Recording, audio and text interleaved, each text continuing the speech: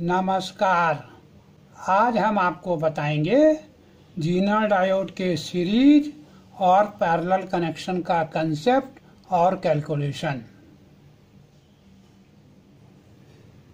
यहाँ हमने जीना डायोड का सीरीज़ कनेक्शन दिखाया है। करंट ऐसे बह रही है और जो जीना डायोड है, वो 10 वोल्ट और 0.1 एम्पियर का है। दोनों एक ही रेटिंग के हैं। तो इस जीना डायोड की वाटेज कितनी हो गई? 10 इंटू पॉइंट वन वोल्टेज गुणा करंट वन वाट ठीक है? तो 10 वोल्ट पॉइंट वन एम्पियर का ये भी है और ये भी है। और जब हम इनको सीरीज़ में कनेक्ट करेंगे तो टोटल वोल्टेज कितना हो जाएगा? 10 plus ten ten plus ten बराबर 20 वोल्ट और करंट वही रहेगी, क्योंकि पॉइंट वन एम्पियर करंट दोनों में वही बह रही है। करंट डबल नहीं हुई। करंट उतनी ही रहेगी, वोल्टेज डबल हो जाएगा।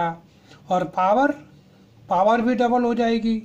टोटल वोल्टेज 20 गुणा point one ampere, two watt. तो ये टोटल हो गया 20 volt point one ampere, two watt.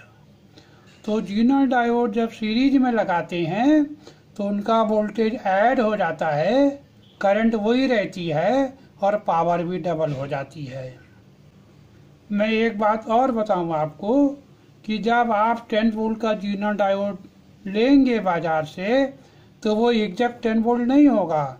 उसमें टॉलरेंस होगी पाँच परसेंट या दस परसेंट। तो ये एग्जैक्ट ट्वेंटी या टेन नहीं आएगा, थोड़ा कम ज़्यादा आएगा। ठीक है? अब अगले सर्किट में भी हम सीरीज़ में दिखाएँगे। मगर इसकी डायरेक्शन बदल देंगे। दिखाता हूँ कैसे। ये देखिए। ये वाला जीनो डाउट वैसे ही लगा है, इसको हमने उल्टा कर दिया। ये हमने इसलिए बताया कि जब आगे का कैलकुलेशन आप देखें तो आपको दोनों सर्किट में अंतर पता हो। इस वाले सर्किट में इसका कैथोड और इसका एनोड एक दूसरे से कनेक्ट हैं। मगर यहाँ पे ऐसा नहीं है, यहाँ पे दोनों कैथोड एक दूसरे से कनेक्ट हैं। ये अंतर है। देखिए, यहाँ फिर सीरीज़ में लगे हैं जीना डायोड मगर इसका और इसका कैथोड एक दूसरे से कनेक्ट है, और करंट ऐसे बह रही है। और ये दोनों 10 वोल्ट और पॉइंट वन एम्पियर के हैं। तो जब करंट ऐसे बहेगी तो यहाँ पे तो आपको 10 वोल्ट मिलेगा। लेकिन ये फॉरवर्ड बायस है। तो यहाँ पे 10 वोल्ट नहीं, सिर्फ़ 1.2 वोल्ट मिलेगा। ये 1.2 पॉइंट कहाँ से आया? इस जीना डायोड के डेटा शीट में। आप देखिए तो मिलेगा। उसमें लिखा है कि मैक्सिमम 1.2 वोल्ट 1.1 भी हो सकता है 1 भी हो सकता है। कितनी करंट बहती है, उस हिसाब से है। तो ये जो वोल्टेज हम दिखा रहे हैं, ये फिक्स नहीं है, थोड़ा सा चेंज होते हैं। टॉलरेंस भी होती है कंपोनेंट की और करंट पे भी डिपेंड करता है। तो फुल वोल्टेज कितना हो गया? इसका फॉरवर्ड ड्राप 1.2 वोल्ट और इस जीना डायोड का वोल्टेज 10 वोल्ट। ये आ गया 11.2 वोल्ट। और करंट वही रहेगी 0.1 एम्पियर, क्योंकि वही करंट बह रही है। और पावर कितनी हो गई टोटल? वोल्टेज गुणा करंट। ये आ जाएगा 1.12 वाट। ठीक है ना? यही मैंने अभी पिछले सर्किट में बताया था कि मैं उल्टा कनेक्शन दिखा रहा हूँ। अब हम क्या करते हैं? इसका एक और वर्जन दिखाते हैं। ये देखिए। ये और ये सर्किट एक ही है। इन दोनों का कैलकुलेशन भी एक ही है बिल्कुल। फ़र्क क्या है? कि इसमें दोनों कैथोड एक दूसरे कनेक्ट थे और इसमें दोनों के एनोड एक दूसरे से कनेक्ट हैं। या यूँ कह लीजिए कि ये वाला जीना डायोड इधर आ गया है और ये वाला जीना डायोड इधर आ गया है। अगर सीरीज़ में आप चेंज कर दें कनेक्शन तो कोई फ़र्क नहीं पड़ता। तो आप ऐसे करें या ऐसे करें। दोनों के केस में आपको 11.2 वोल्ट मिलेगा और करंट वही रहेगी। तो यहाँ पे आपको डबल वोल्टेज नहीं मिल रहा। अब इस सर्किट में हमने जीना डायोड के पैरेलल कनेक्शन दिखाए हैं। यहाँ से डीसी करंट आ रही है, इधर जाएगी और इधर जाएगी और ऐसे वापस हो जाएगी। ये वाला zener diode 10 volt point one ampere का है और ये वाला भी 10 वोल्ट पॉइंट वन एम्पियर का है। मैंने अभी आपको बताया था कि जो जीना डायोड का वोल्टेज होता है, उसमें टॉलरेंस होती है। पाँच परसेंट या दस परसेंट वो डेटा शीट में मिलेगा आपको। मान लीजिए टॉलरेंस है फाइव परसेंट। इसका मतलब ये हुआ, जो जीना डायोड है उसका वोल्टेज टेन वोल्ट की जगह नाइन पॉइंट फाइव से टेन पॉइंट फाइव के बीच में कहीं भी हो सकता है। ये प्लस फाइव परसेंट और ये माइनस फाइव परसेंट।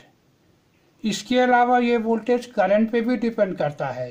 करंट थोड़ी कम ज़्यादा होगी तो वोल्टेज कम ज़्यादा होगा। तो ये दो जीनर जब आप पैरेलल में लगाएँगे तो दोनों का वोल्टेज बराबर नहीं होगा दस वोल्ट। 9.5 भी हो सकता है 10.5 भी हो सकता है। इसका मतलब ये हुआ कि एक जीनर डायोड का वोल्टेज कम होगा और एक का ज़्यादा होगा। दोनों के बराबर होने के चांसेस बहुत कम हैं। मान लीजिए इस जीनर डायोड का वोल्टेज कम है 9.5 वोल्ट, इसका ज़्यादा है। तो जब जीना डायोड का वोल्टेज कम है एक का तो ये सारी करंट इससे चली जाएगी। इसमें कम जाएगी, इसमें ज़्यादा जाएगी।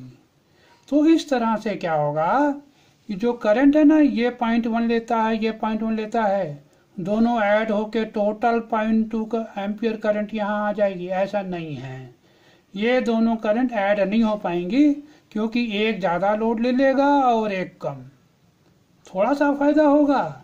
आपका पॉइंट वन एम्पियर की जगह पॉइंट वन वन एम्पियर हो जाए, टेन परसेंट फ़ायदा हो जाए, बीस परसेंट फ़ायदा हो जाए तो पैरल में लगाने से करंट रेटिंग टोटल डबल नहीं होती क्योंकि इनका वोल्टेज बराबर नहीं होता। जिसका वोल्टेज कम होता है, उससे करंट जाने लगती है। दूसरे में करंट नहीं जा पाती या थोड़ी जा पाती है। ठीक है? तो करंट डबल नहीं हुई करंट करीब करीब उतनी ही रही है थोड़ा सा ज़्यादा और वोल्टेज वही रहा। जिसका वोल्टेज कम होगा, वो वाला वोल्टेज आपको यहाँ पे मिलेगा। समझ में आ गया ना? तो आपको वाटेज भी डबल नहीं मिलेगी।